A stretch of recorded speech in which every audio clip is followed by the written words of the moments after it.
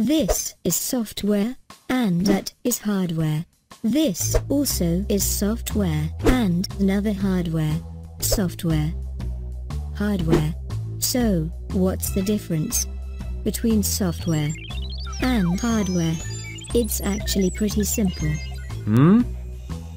Software is a set of instructions, like programs and other operating information, such as games, operating systems, phone apps, search engines and so on.